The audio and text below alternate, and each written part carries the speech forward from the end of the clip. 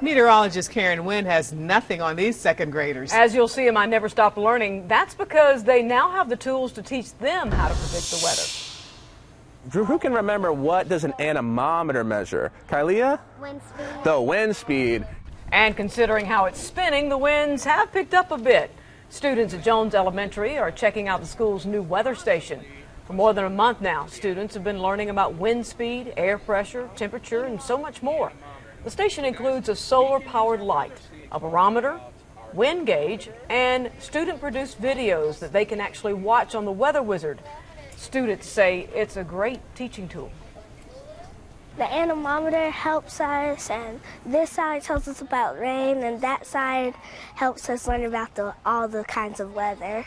So like the water will will rain down and then it'll evaporate, come back up, and then come down, and then like it's a water cycle, up, down, up, down, up, down, up, down, up, down. The wind right now, the direction is about, it's in between six and five, so I would probably put five for the wind.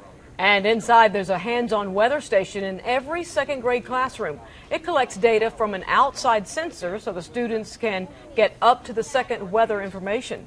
The weather station was made possible by a grant from the Asheville City Schools Foundation.